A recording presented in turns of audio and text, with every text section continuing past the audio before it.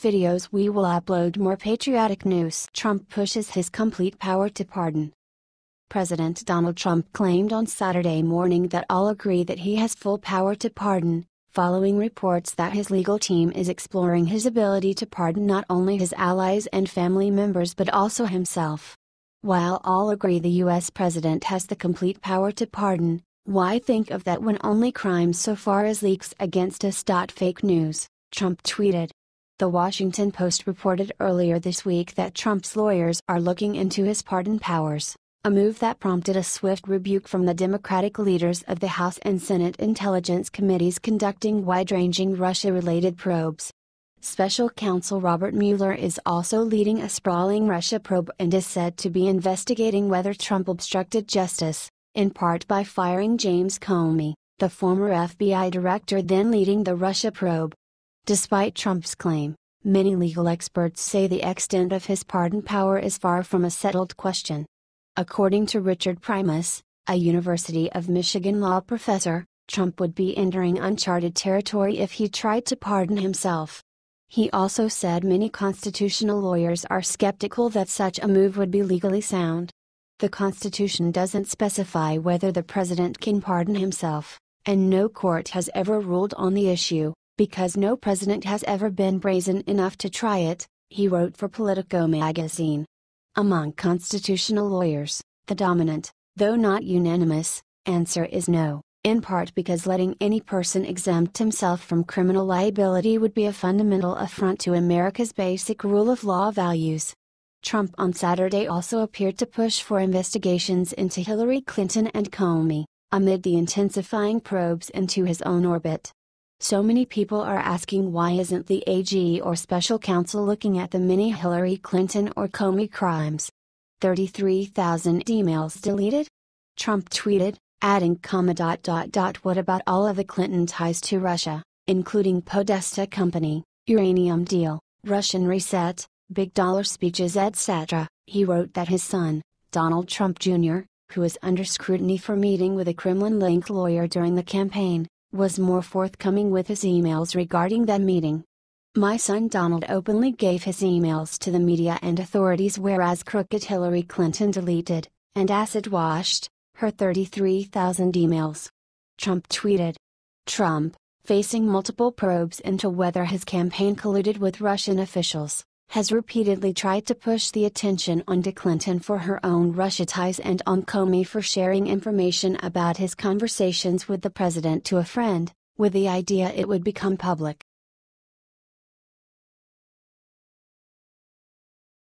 The untouchable Hope Hicks Hope Hicks was celebrating a family wedding at a Bermuda golf club the weekend after Donald Trump was elected president when she overheard members of another party expressing dismay about his victory.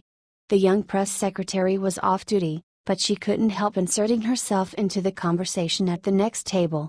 I promise, he's a good person. Hicks chimed in, begging them not to worry, according to multiple people who witnessed the exchange. Hicks' instinctual defense of the president is emblematic of how she views her role in the White House, as someone who deeply understands Trump, but also understands why, in her mind, people misunderstand him. The polite, soft spoken 28 year old newbie to Washington politics holds the lofty title of Director of Strategic Communications, pulls down the top White House salary of $179,700 the same as strategist Steve Bannon and Chief of Staff Reince Priebus, but operates outside of any organizational chart. She is protected, in a world of rival power centers, by the deep bond she shares with the man at the top. He affectionately refers to her as Hopester. She still calls him Mr. Trump. And she views her job, ultimately, as someone who is installed where she is in order to help, but not change, the leader of the free world but an explosive Trump interview this week with the New York Times, in which Hicks was the only aide in the Oval Office with the president, has thrust her protected and preferred under the radar status into fuller view. In the interview, Trump expressed regret and anger over his hiring Attorney General Jeff Sessions in light of his recusal from the Russia investigation, and then left open the possibility of firing special counsel Robert Mueller, all risky statements, given the legal scrutiny he, his family, and his associates face. Hicks' sole presence in the office has raised questions about whether she's helping Trump advance his stated America First agenda, or whether she is simply enabling a president with self destructive tendencies to hobble the entire administration, and, ultimately, himself. In the chaotic West Wing, rattled again on Friday by the surprise resignation of Press Secretary Sean Spicer, Hicks has been a stable, consistent presence at Trump's side, her loyalty never in question, her status in the president's inner circle never in jeopardy, her back never being stabbed by colleagues in the snake pit work environment. One person described Hicks, who worked for the Trump organization before joining the campaign at its start, as a souvenir from Trump Tower, that is someone who has made the journey with the president from his old life, with whom he can wax nostalgic about the good old days in New York. She also may be one of the only long term survivors of a complete overhaul of the White House Communications Department. Dan Scavino and Hope Hicks are staying, incoming Communications Director Anthony Scaramucci said at his first press briefing on Friday. As it relates to the other people in the comms shop, I've got to get to know them. But her front row role in the New York Times interview had Washington veterans raising their eyebrows about whether anyone in Trump's orbit can rein him in. What's amazing to me is that Hope sat there and let it happen, said one former top GOP Hill aide. I have a very different construct on what it means to staff people. You exist because your job is largely to improve otherwise difficult situations. The fact that people around him are not trying to protect the president blows my mind at this level of politics. People familiar with the interview said Hicks, whose own comments during the session were off the record, did try to intervene on multiple occasions, reminding the president that he did not have to answer every question on the record. But Trump, who thrives off the easy back and forth with reporters he has been engaging in for decades, ultimately overruled her and wanted to charge on. Some said Hicks isn't to blame for acting like a gatekeeper who lets the fox into the henhouse, they see her as part of a larger problem plaguing the Trump administration, where no staffer can control the president's most self damaging impulses, and there is no larger communications strategy beyond indulging the president in the instant gratification he enjoys from making news. He doesn't have many people seasoned in governing around him, people who are able to give him the candid advice based on the experience of working in government who can help guide him to avoid pitfalls, said Scott McClellan, a former press secretary to President George W. Bush. Hicks, however, is different from his other aides. She stays off television, which has given her some cover and credibility with the media. She has never lied, on the record, in service of the president. She declined to comment for this story, and turns down most media requests that come her way, because she prefers to serve the president without a spotlight shining on her. In a White House staffed with aides pushing their competing personal agendas, Hicks stands apart as a loyalist who is there solely because of her commitment to Trump and his family, who isn't eyeing the next job up the food chain. She is sometimes treated like an extended family member of the close knit clan, she has joined Jared Kushner and Ivanka Trump for Shabbat dinner at their Kala Kalorama mansion, and stood shoulder to shoulder with the Trump family during an audience earlier this year in Rome with the Pope, along with other inner circle aides. Internally, she has joked that her title is not about strategically communicating with the press, it's about strategically communicating with the president. She knows that telling Trump what not to say, ahead of an interview, is a losing proposition. She has accepted that he will say things that people find shocking, or upsetting, but she long ago made the decision that she deeply believes in Trump as a leader, and that she wasn't going to change or judge a 70 year old man whose career highs have been based on trusting his own instincts. When it comes to indulging his desire to speak on the record to the New York Times, insiders said, she also understands the important place the respected hometown broadsheet holds in his Queensbred psyche. To colleagues and reporters, she often expresses frustration at why the president is often described as angry or fuming when she views the man she works for as generally charming, supportive, and friendly. Hicks, a Greenwich, Connecticut, native and one time teen model who rose through the ranks of the Trump organization, has also become more solitary and protective of herself as her power in the White House has grown. Friends said she rarely ventures out socially in Washington because her close relationship with the president makes her feel like a target. She is not on Twitter, and her Instagram account, where she is followed by Ivanka Trump, Donald Trump, Jr. and the president himself, is set to private. Colleagues described Hicks as someone who communicates with Trump in a similar way to his daughter Ivanka. She can express her disagreements to the president privately, but ultimately supports his decisions unquestioningly. Internally, she has become something of a Trump whisperer, other aides rely on Hicks' judgment to gauge when is a good time to speak to the president. She can help give readouts on conversations the president has had with legislators, said Marc Short, Trump's director of legislative affairs.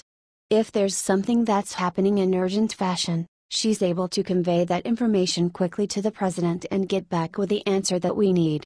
He added that the continuity she represents is an important ingredient in a White House filled with newcomers to the Trump train. It's become self evident, six months into Trump's first term, that no single person can change Trump's style of communication. First Lady Melania Trump's presence in the White House has done little to stem the flow of outrageous tweets, and his communications team has fallen apart and because the president, ultimately, acts as his own press secretary. But Hicks' management of the president, knowing what battles not to fight, and pushing no outside agenda of her own, might make her the last aide standing, even if it's a break from how people in her position have acted in the past. In the pre Trump world order, an interview with the President of the United States was used by the administration as a cherry topper to sell a policy proposal the White House sought to highlight.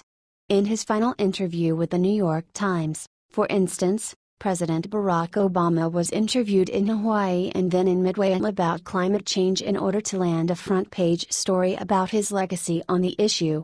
Every time a president talks to the press, it should be part of a coordinated communications effort to promote what the president is doing, said Ari Fleischer, another former press secretary to George W. Bush. Not so in Trump world, where reporters are often invited into the Oval Office by Hicks with no warning for freewheeling conversations that read like venting sessions and do little to further any policy agenda being pushed by the White House. Coordinating interviews with him, that's all her, said one White House official. From her perch near the Oval Office, Hicks has become part of Trump's shrinking circle of trust, overseeing more of the president's response to damaging stories as he has lost faith in the rest of his communications team. In May, for instance, the Times reported that Trump asked former FBI Director James Comey to shut down his investigation into former National Security Advisor Michael Flynn. Spicer wasn't involved in the response and only learned of the story's publication minutes before it landed, White House sources said. Instead, it was Hicks shuttling in and out of the Oval Office, working on a response with the president. Some Trump critics are sympathetic to Hicks' task of managing an uncontrollable personality. She's doing an excellent job with the worst client in the history of the world, said Stu Loeser, former press secretary to New York City Mayor Michael Bloomberg. There isn't a permanent solution to him coming down. Loeser credited Hicks with channeling Trump's comments on the ongoing Russia investigation to the Times, rather than waiting for him to spout off on Twitter. Not threatening the Justice Department and independent counsel is not one of the options that faces her, Loeser said. She arranged for him to say what he is inevitably going to say in the most dignified and professional way he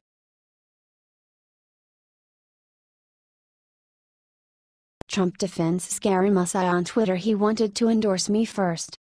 President Donald Trump on Saturday defended his pick for White House Communications Director, Anthony Scaramucci, for initially endorsing some of his opponents during the 2015-16 presidential campaign. In all fairness to Anthony Scaramucci, he wanted to endorse me first, before the Republican primary started, but didn't think I was running. The president wrote on Twitter Saturday morning. Scaramucci first endorsed Wisconsin Governor Scott Walker and former Florida Governor Jeb Bush over Trump during the Republican primaries. In August of 2015, Scaramucci called Trump a hack politician during a TV appearance adding that his rhetoric was anti American after Trump made comments about hedge fund guys paying nothing in taxes. Scaramucci on Friday addressed his comments during a White House press briefing, saying it was one of the biggest mistakes that I made because I was an unexperienced person in the world of politics and that Trump brings it up every 15 seconds. I should have never said that about him. So, Mr. President, if you're listening, I personally apologize for the 50th time for saying that, Scaramucci.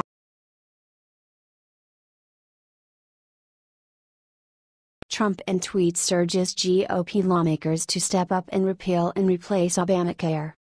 President Donald Trump on Saturday morning called on Republican senators to repeal and replace the Affordable Care Act, urging them to step up despite obstruction from Democratic lawmakers. The Republican senators must step up to the plate and, after seven years, vote to repeal and replace. Next, tax reform and infrastructure. When, the president wrote on Twitter. He added, Obamacare is dead and the Democrats are obstructionists, no ideas or votes, only obstruction. It is solely up to the 52 Republican senators. Trump has claimed several times that Obamacare is dead, despite the White House and GOP lawmakers being unable to pass through legislation to repeal and replace the Affordable Care Act thus far. On Friday, Press Secretary Sarah Huckabee Sanders said that the president is still expecting Senate Republicans to replace, not just repeal, Obamacare next week. The vote, however, is still on track to